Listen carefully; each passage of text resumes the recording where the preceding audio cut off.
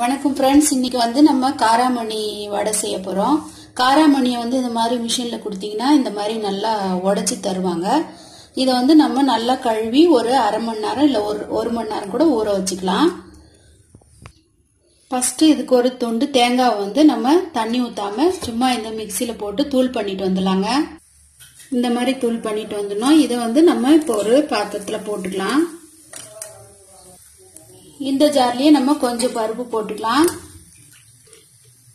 ஒரு நாலு பல்லு பூண்டு வந்து தோல் உரிக்காம போட்டுக்கலாம். ஒரு துண்டு இஞ்சி நம்ம போட்டுக்கலாங்க.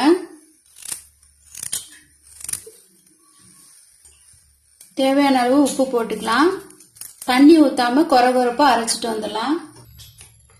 இப்போ அரைச்சிட்டு வந்தாச்சு. இந்த தேங்காய் போட்ட பாத்திரத்திலேயே நம்ம இதை போட்டுக்கலாம். போட்டுட்டு மீதி இருக்கிற பருப்பையும் நம்ம அரைச்சிட்டு வந்துடலாங்க.